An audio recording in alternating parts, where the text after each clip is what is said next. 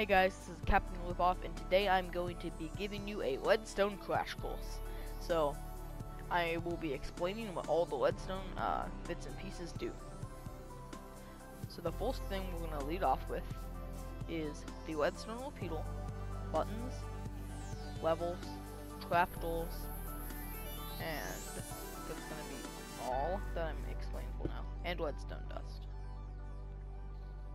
So, you might be wondering, what does a pressure plate do? What a pressure plate does is it detects when a well, when someone steps on the pressure plate. So when I step on it, it will give a leadstone output. And we can tell if there's a leadstone output by if the leadstone is lit up. As you can see, the leadstone is lit up. Now, I don't know how many people actually wonder what the button and the leave level does. Um, but the button can hold power, or hold power as a block, which we'll talk about hold power later, and a level, you can keep the leadstone signal on, but with a button, you cannot. So, what hold powering means is if you hold power to block, you could activate um, leadstone dust from behind it as a simple way of stating it. But because leadstone dust only soft powers things. If I were to run a leadstone dust into a block, it would not go through because it is soft powering it. Now, soft powering blocks, certain blocks can see if a block is getting soft power or soft powered, such as a sticky piston, a piston, um, a leadstone comparator, um, a leadstone torch. And I believe that is it. So if I place down a leadstone comparator here, you can see it lit up, which means it is going to give off a leadstone signal. Same thing with a um, with a leadstone um, with a leadstone repeater. As you can see, it gave off power. Um, the piston, you can see, was powered both of them will.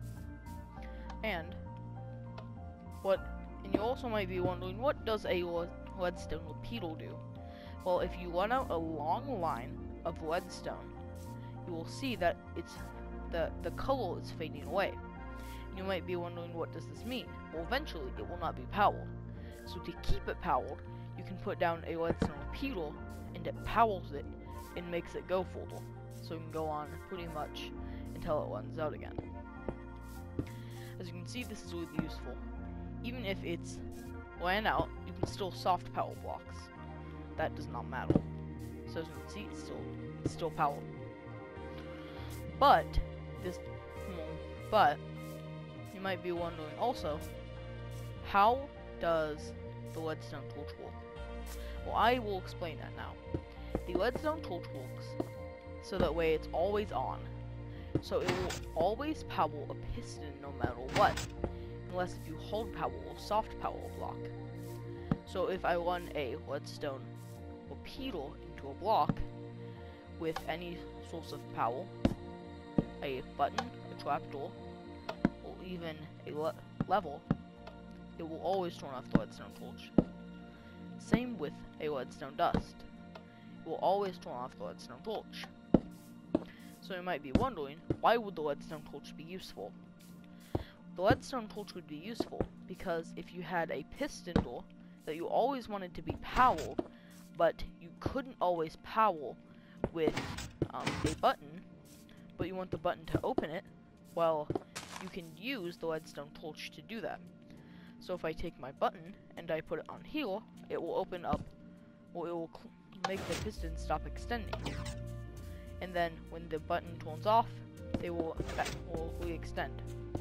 You also might be wondering, well, why would you want it burnt out or turned off? Well, you would want it turned off because what if you like, what if you wanted a trapdoor to stop getting powered um, when you stepped on it? So it could be used for that. But it also could be used so that way, if a level was pulled down, then the level would not extend the piston. So that could be useful too. Now, some other things you might be wondering is, what does this thing do? Because if you haven't been playing the game for a while, you wouldn't know what the Absorbal is. What the Absorbal does is it notices when a block updates. So if I were to place a block, then it would notice. Or if I broke a block, it would notice. Or even when you play a note block or something like that. So maybe not the note block. But it would notice when you opened or closed the door. So, if I go and grab a door, or even a trap door, then when I place it and I open and close it, it will notice. Or I could even use this to notice when this piston extends. I could make a clock out of it. And as you can see, it keeps running over over again, which is what a clock would be. But the Absorbal notices when something updates. Although it only notices on the side that the face is on. So you can see the face on it. So when I place it, it notices. And when I open and shut the trap door, it notices. Now this doesn't just activate pistons, but I use the pistons so that way you guys will understand. Now you also might be wondering, what does the tripwire hook do? Well, the tripwire hook notices when you step over a piece of string. So if I had some string on the ground connected to the tripwire hook, then the tripwire hook would notice, even though you can still more. And it's useful because it will, if you set up a trap like this, it would shoot you with an arrow. Um, you also might be wondering, why would, what does the dispensal do? Well, before we get into the dispensal and the dropper, I'm going to explain what the daylight sensor does. Now, it might seem like it's self-explanatory, but it's not just a daylight sensor. It also is a nighttime sensor. So if you, um, so if you right-click on it, or if you're on uh, console, if you hit LZ, LB, or L2, then it will change between night and day. So as you can see, it's changing.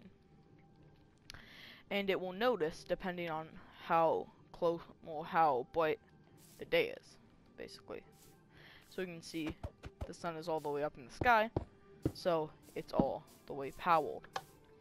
So what the dropper does is if you put an item in the dropper, like this dropper, then it would power the dropper and it would drop its item. And if you're wondering what the dispensal does, and you put an item in as well, well, you might be thinking, what does it do different? It just drops it out.